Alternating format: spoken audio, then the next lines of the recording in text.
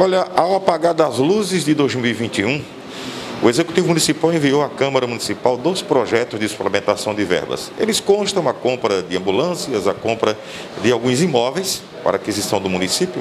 Esse projeto deu entrada aqui numa reunião que durou dois minutos e meio na última segunda-feira.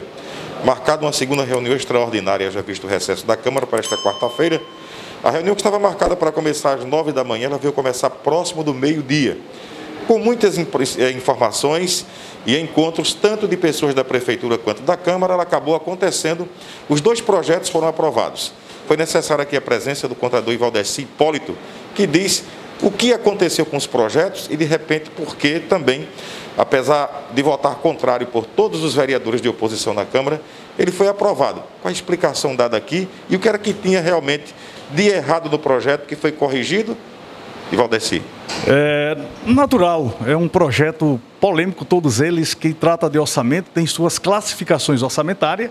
Existiu dúvida na casa, eu cheguei, expliquei né, os vereadores se sentiram convencidos, claro, tem da oposição ou alguns que não quiseram votar, isso é um respeito ao Poder Legislativo, que é grande, é quem decide, mas a explicação quanto à nomenclatura das, das rúbricas orçamentárias foram todas dadas, inclusive a portaria da Secretaria do Tesouro Nacional, que não sou eu, ela dita a regra, que é a portaria 163 de maio de 2021, de 2001, ela trata dessa nomenclatura.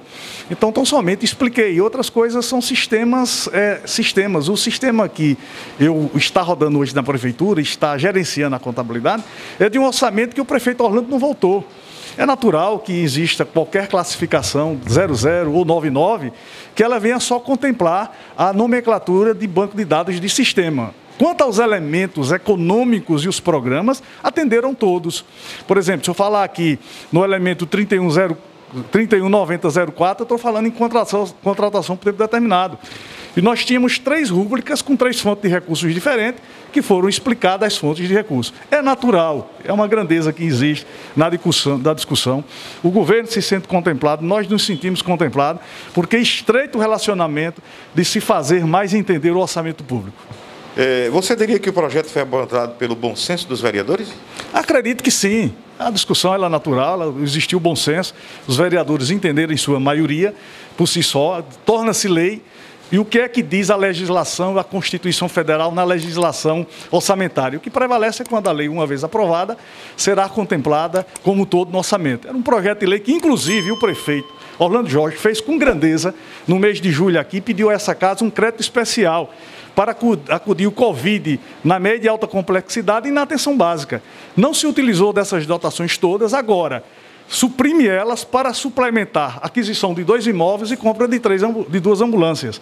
Então, é nessa grandeza que a administração, a gestão Orlando Jorge, vem trabalhando o orçamento público. Do outro lado, você pede à Câmara, mostra que tem um dinheiro e o que vai comprar. Isso é muito bom para a população limoeirense. A execução desse projeto será já no início do ano de 2022? Já iniciamos hoje. Hoje mesmo a gente recepcionando uma vez aqui o presidente da casa, mandando o projeto, já vai estar contemplado no orçamento de 21 está se tomando todas as providências nas aquisições, a gente já vai cuidar. O prefeito disse que não cessa, é 30, 31, a gente vai estar o tempo todo aí trabalhando, se dedicando, porque foi para isso que ele foi eleito, deixou muito bem claro com os secretários e as assessorias, que não terá dia nem hora, estará todo mundo sempre de plantão para atender a população de Limoeiro. Esse é o lema que Orlando Jorge tem pregado com bastante austeridade.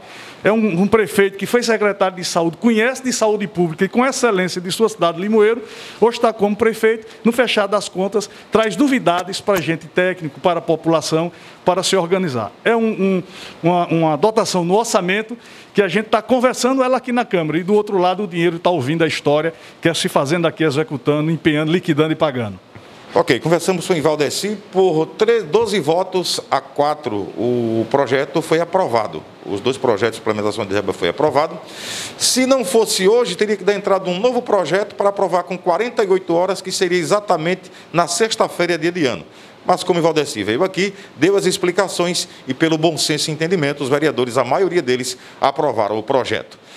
Filmagens de Júnior Silva, com imagens e reportagens de Gonçalves Filho para a Web TV Notícia e Cultural FM.